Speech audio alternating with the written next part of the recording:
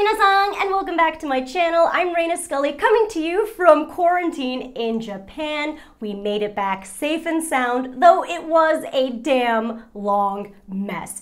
It was significantly more difficult to return to Japan than to enter the US, something we were made well aware of before ever leaving. Loads of paperwork and very, very meticulous specific quarantine measures that I'm going to break down for you in this video. As mentioned in my previous vlog about what it's like to leave Japan during the pandemic, the regulations keep changing. In fact, we had to accommodate several different changes that were made the week we were scheduled to leave, so be mindful that the circumstances are ever changing and you have to keep a close eye on the Ministry of Foreign Affairs website and the Ministry of Health and Labor website. What I'm about to show you is what it was like for me at this specific time. And no, Japan did not care whatsoever that we were fully vaccinated. No one ever even asked us. So here is a checklist overview of what is required of you to enter Japan. First, you need a negative COVID test result within 72 hours of your international departure flight, and your certificate needs to be signed by a doctor. Two, you must sign the written pledge that promises that you will abide by Japan's anti-COVID measures. Three, you need a Japanese phone number and a smartphone that can handle the three apps that are going to track you during your mandatory quarantine in Japan. Four, you need to secure that you have some kind of private transportation that'll bring you from the airport to your quarantine destination, whether it be your home or a hotel. And finally, you need a Japanese address that you can quarantine in for the full 14 days. This is basically the minimum that you absolutely need before you can even think about heading to Japan. So now let me show you exactly what my personal experience was and how it all went down. All right, the first step, getting the right type of COVID test that Japan accepts and having a doctor fill out that health certificate for you that you have to then surrender when you enter Japan. No digital acknowledgement will be accepted. You physically have to print this sheet of paper out. This is what the certificate of testing for COVID 19 looks like. You have to submit this piece of document upon re entry into Japan. This document needs to be filled out by a doctor after you have received your negative results from the lab and the doctor has to sign it and have an imprint of the institution's seal. Be mindful of asking the testing facility or doctor's office which tests they have and mention these acronyms. These are very specific clinical tests. A lot of rapid antigen tests aren't accepted by Japan, so just be very precise when asking if these tests are offered. Next, let's take a look at the written pledge, which outlines every criteria for your re entry into Japan and what you have to do afterwards. Here is the written pledge you have to fill out and submit upon returning to Japan. It also gives you all the information you need about what to do when you return, like details on your 14 day quarantine, what you can and cannot do, and it's basically a contract you have to sign saying that you will abide by all these rules and that if you were to break any of these rules that there will be dire repercussions. This is the page where you fill out your personal information and essentially acknowledging the written pledge on the previous page. You must submit a Japanese address and a Japanese cell phone number that works. You also need a smartphone. It doesn't necessarily have to be the Japanese cell phone, but you do need a smartphone that is associated with the email that you will submit to them. You also have to make sure that your transportation is accounted for and that you are absolutely not using any public transportation. Uh, my dad is going to pick us up from the airport. I would say that this is the most difficult condition that we had to meet. Quarantining for 14 days in our house is not really a big deal, but having somebody private pick us up from the airport Oh, this was very, very difficult to time. We downloaded the written pledge from the Ministry of Foreign Affairs website, but they actually do hand it out to you during your flight, so you can just fill it out then. Now, before you check into your flight, you have to fill out this online questionnaire that asks for very specific details about your flight, like your seat number and your flight number, final destination, layovers, your full name, health conditions, etc. Doing this provides you with a QR code, which is necessary for check-in. I again flew United, so maybe the criteria is different for other airlines, but we had to refer to this QR code over and over again, even after we entered Japan, so I do suggest taking a screen screenshot of it. Everything from the initial departure from Newark went pretty smoothly. We didn't run into any issues per se, but it was very, very clear that so few people are dealing with individuals traveling to Japan, and they're very aware that Japan's strictness is absolutely bonkers. Uh, we wasted a lot of time having to verify information between like four different people behind the counter. So I do think you need to leave yourself an extra extra hour or two at the airport. But even with that, we were able to fly out to Chicago where our layover was, and everything in O'Hare was even smoother. Unlike in Newark, everyone we spoke to at the counter was very knowledgeable about Japan and their conditions, and it assuaged a lot of our anxieties. However, as you saw, there are so many people in O'Hare, and it's such a drastically different airport scene and environment than just a month prior. I was also quite surprised to see how many non Japanese people were heading Japan. Currently, only Japanese nationals like myself, permanent residents like my husband, military personnel, some diplomats, and some international business tracks are allowed entry into Japan. For the most part, Japan still has over 150 different countries banned from casual visitor travel and entry.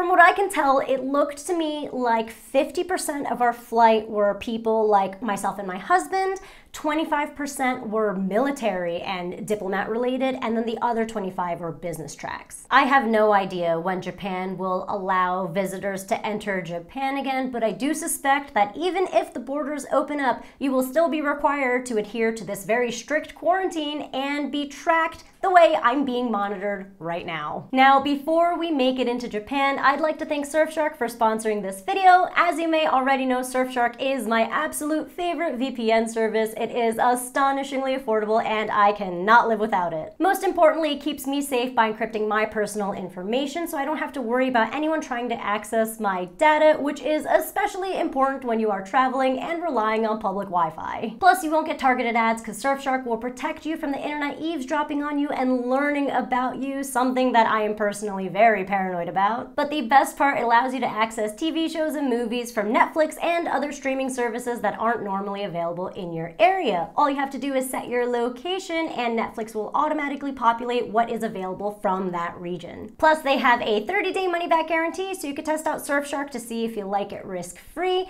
Click the link in my description and use my promo code Reina Scully to receive 83% off and three months for free. So as your flight gets closer to Japan, you will be given this sheet of paper that they will refer to as a health card even though it's a sheet of paper. It's just another redundant rehashing of what you're required to do. You just have to check off which region you've been in prior to Japan and whether you are exhibiting any symptoms. You will hand this health card back and forth to about a dozen different people at the airport. I highly recommend you get a folder or like a manila file so you can keep all your documents together in a safe place. And now, welcome back to Japan we were basically escorted from our seat to an agent at the gate where our paperwork was initially inspected. Then we walked about a half a kilometer to a completely secluded terminal. Then you get to another checkpoint, hand all of your documents over again, they verify, give it back to you,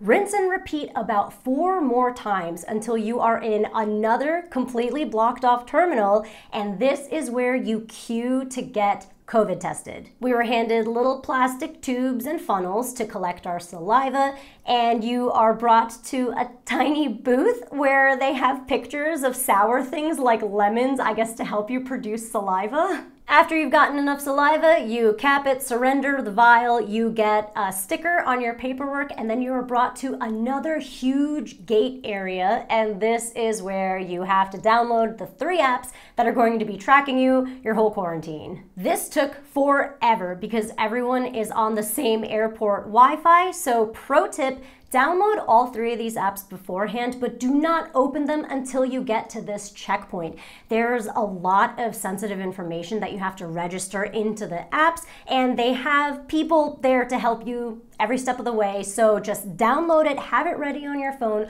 but don't open it. After you get all three apps up and running on your phone with the correct registration, you are then free to go on to the next checkpoint where they verify your information again for the very last time. And then, if everything is good, you can now go to a separate area upstairs where you can retrieve your COVID test results. So at this point, you still don't know if you're positive or negative. If you test negative for COVID, COVID, you will be given this pink slip and you are pretty much free to go. So now let's talk about the apps and how Japan is going to be monitoring you during your quarantine. First is the OEL or Overseas Entrance Locator. Once you arrive at your quarantine destination, whether it be your home or a hotel, you hit check in and that address has to match up with the information you provided earlier in your paperwork. And then every day for the next 14 days, the app is going to send you a notification asking you to check in. It has happened so far twice a day, every single day, usually once in the AM and once in the PM. This is super simple and non-invasive. The next app is the My SOS app, which is basically used as a one-way communication device. Someone is going to call you every day to verify who you are and that you are still in the same location. You must turn your camera on and they can see you, but you can't see them, so it's a little bit creepy, but there is a real person on the other side. It's always a quick 30 second phone call where they just ask if you are still in the location that you provided, and sometimes they ask you to verify your name and date of birth. Sometimes an AI will call you instead, in which case you still have to turn your camera on and it will instruct you to say your home address and your name, and that's it. So the last app is the contact tracing app, which I haven't had to open or use or look at once. I think this is only important if, let's say, you randomly get sick during your quarantine or you happen to come across somebody that turned out to be sick or something like that. That's essentially it. At the end of the day, it's not that invasive, but you do have to have your phone on you constantly because you don't know when they're gonna call. And if you miss the call, even by like a couple seconds, it logs it. I've only ever missed one call and it was on the first day. The app is super buggy. It rang while it was on the lock screen. So I had to answer it first and then I had to unlock it. When I unlocked it, it just shut the app down. Needless to say, I freaked out and then I learned later that it did log it as a missed call, which is ridiculous because I obviously answered it, otherwise it wouldn't have opened the app that way and crashed it. Anyway, so I quickly emailed them, explained to them what happened with screenshots that were worthless, and they got back to me and said, Thanks for your cooperation. Yeah, the app is buggy. Keep up the good work. Quarantining in general is not that hard, especially when you live with your significant other and you're capable of working from home.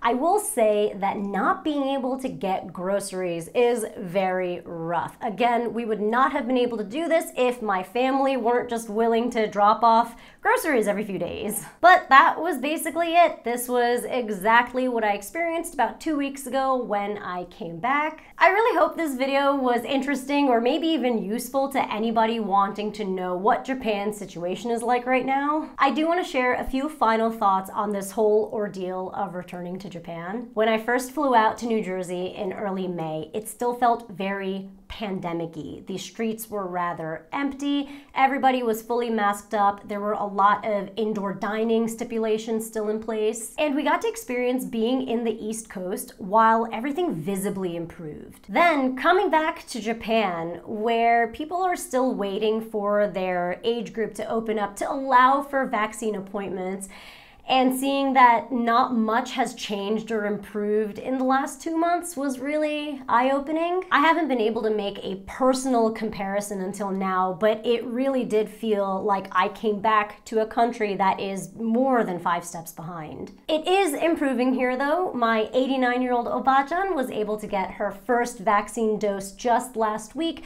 so I'm hoping to see that progress and improvement here in Japan as well. I hope it's as clear as I was able to see it in New Jersey. Let me know in the comments how your country is doing and please leave me any questions about traveling to Japan. I will try to answer them to the best of my ability. Thank you again so much for watching. Please like and subscribe if you haven't already and I will see you in my next video. そんじゃまたね